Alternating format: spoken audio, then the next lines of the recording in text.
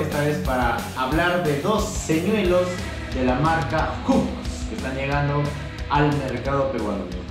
Uno de los señuelos es el Solera 110F, un señuelo de 20 gramos. Ahorita vamos a explicar las cualidades y ventajas que tiene este señuelo, el Solera 110F. Y el otro es el Serial Killer o el asesino en serie.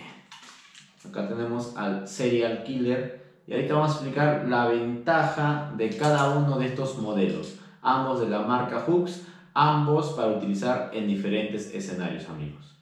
Empezamos con el Solera 110F amigos.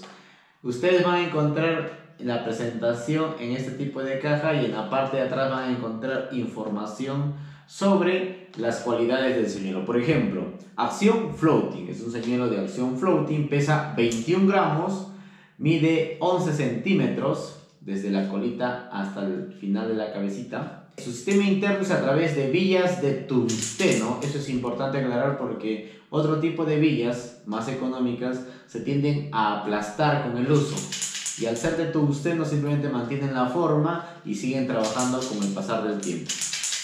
La profundidad es de 50 centímetros a 2 metros aproximadamente y ya saben que según la altura de la caña, ya sea que vengas con la caña hacia arriba o hacia abajo, influye directamente en esa profundidad en los 30 metros que uno tiene sobre la orilla.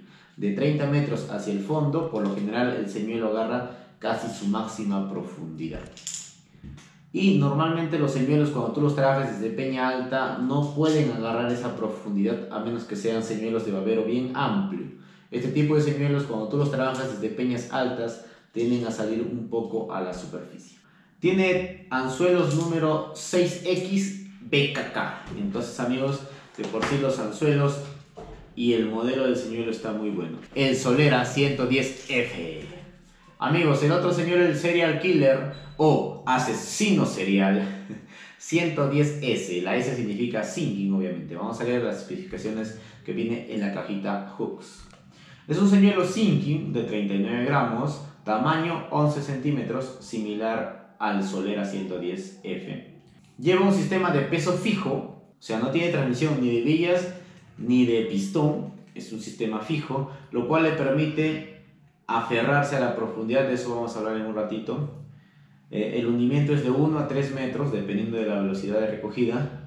Y también llevan suelos números 4X, que son Strong Triple. Entonces ahí está la especificación, ahí se ve el gráfico del, del peso fijo en el medio. Prácticamente es como que tuviera un plomo en el medio. El serial killer, amigos. ¿Qué es lo interesante que hace Hooks, amigos, en sus señuelos, en ambos señuelos? Es el tema de los colores. Y otra cosa es que ambos señuelos te van a permitir cubrir diferentes escenarios de pesca. Por ejemplo, el Solera 110F es un señuelo de nado muy errático, incluso en aguas muy calmadas. Entonces, en aguas muy calmadas, con recogidas muy lentas, te va a permitir tener un nado goblin y rolling muy marcado, incluso con recogidas muy lentas. ¿ah? Entonces en aguas muy calmaditas podría recogerlo lento y el señor te va a nadar así. Muy atractivo para lenguados, muy atractivo para corvinas. Si tú deseas agarrar peces que están atacando un poco más voraces como los bonitos o corvinas en algunos momentos, recoges un poco más rápido y el señuelo tiende a ser un coleo un poco más fuerte. Se acomoda a diferentes escenarios, pozones de 3-4 metros de profundidad también te permite pescar, ojo que profundiza hasta 2 metros, así que vas a tener el señuelo siendo efectivo en esa capa de 2 metros. Entonces, si ya eh, es demasiado profundo el pozo y no está picando a 2 metros de profundidad, ya tendrías que probar jigs o vinilos que profundicen un poco más. Aguas bien bajas, de un metro o menos, el señuelo va a tender a ladearse un poquito y a cabecear. Cuando tú sientes que el señuelo está cabeceando con la arena, recoge un poco la puntera de la caña y el señuelo va a levantarse un poquito y va a mantener esa efectividad. Entonces amigos, el Solera 110F se acomoda a muchos escenarios. ¿Qué sucede en aguas muy correntosas? Como sucede en algunas playas o como sucede cuando la mar está muy brava. El agua tiende a jalar a los señuelos hacia los costados o a botarlos hacia la orilla.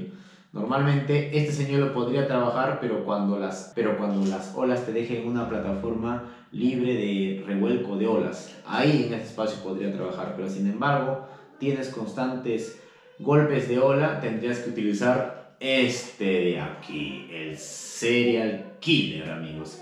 Justo aparece este señuelo, amigos, para ese tipo de aguas. Aguas muy fuertes que te llevan el señuelo de un lado para otro lado. Este señuelo, por tener el peso fijo en el medio y por ser pesante y por tener un babero amplio, se va a aferrar a esa correntada. Entonces, en vez de ser llevado de un lado para otro lado, como va a suceder con algunos señuelos de peso inferior, este señuelo se va a mantener efectivo. Tiene un lado bien errático, por lo que va a resultar muy atractivo en esas aguas revoltosas, justo cuando está comiendo la corvina, amigos.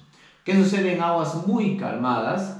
Este señuelo no va a tener un goblin tan marcado como este, o un rolling. Va a tender a hacer un lado así, muy suave.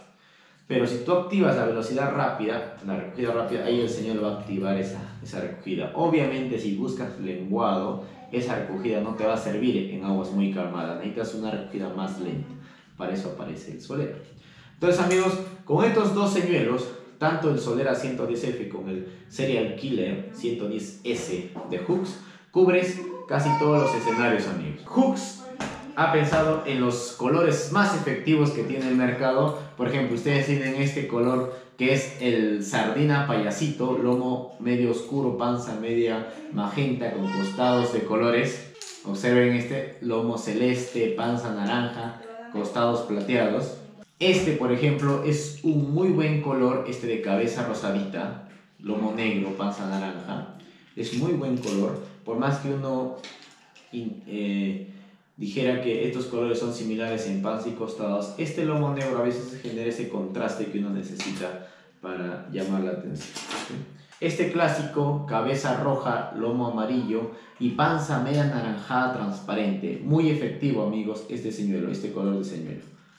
Muy, muy, muy efectivo. Con ese tipo de color de señuelo yo saqué el lenguado más grande que, que he sacado hasta el momento y como saben fue liberado. Tenemos este otro, tipo sardina también, solo que a diferencia de este otro, el lomo es oscuro, este de acá es un lomo más clarito. Es un tema de, de probar, amigos. Sobre todo en aguas claras, los colores sardina, los que tienen el costado plateado, tienen a ser efectivos.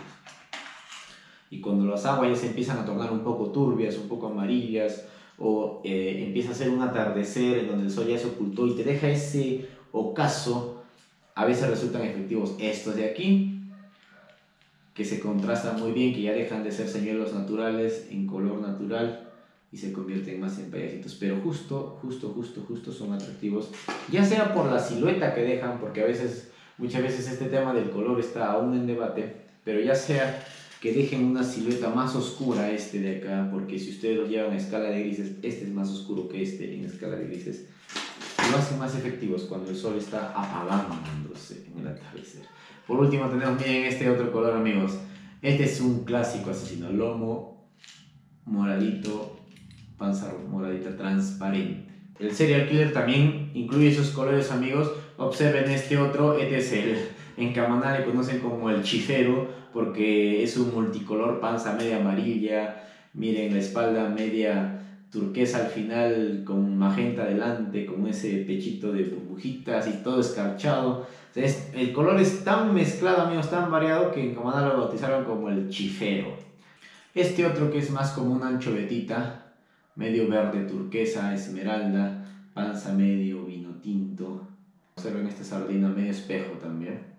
Entonces, ¿qué sucede amigos con el serial killer? El serial killer tiene un lomo, lomo liso, mientras que el solera tiene una, una textura de escama. El solera viene con una textura de, de, escama ya sobre el señuelo en sí. Entonces, eso lo hace interesante. ¿Por qué?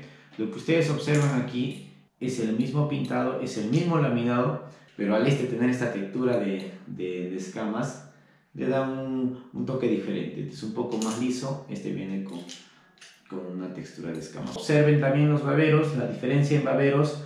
Este, el serial killer, a tener una paleta más amplia, más triangular, le permite aferrarse a las correntadas. Este, al tener un babero así alargadito, le permite profundizar hasta 2 metros y es el que le da ese goblin y rolling bien marcado. Entonces, amigos, ya saben, aguas calmadas, aguas con olas, pozones bien profundos, pero cuando las aguas se empiezan a complicar por la correntada, por la zamaqueada o por la distancia del pozo, aparece el serial killer que se va a aferrar bien esas correntadas y te va a permitir llegar incluso un poco más lejos por el peso fijo que tiene 39 gramos. Al ser el serial killer un señuelo de peso fijo, va a hundir rápido, 39 gramos, va a hundir muy rápido. Entonces, si lo vas a utilizar sobre zonas que tienen roca, pero es bastante profundo, entonces úsalo con mucho cuidado, evita demorarte en la recogida, eso sí. Pero si el agua es poca profunda y hay roca, procura no utilizarlo porque lo vas a trabar. Hunde rápido el serial killer. Este lo vas a poder utilizar en, en zona de, de, trabas porque hacer floating choca, dejas que salga y ya está, amigos. El Solera 110F. Entonces, amigos, así con hooks, con su Solera 110F y con su Serial Killer 110S, nos despedimos, amigos. Nos vemos en el siguiente video. Chao, chao, chao.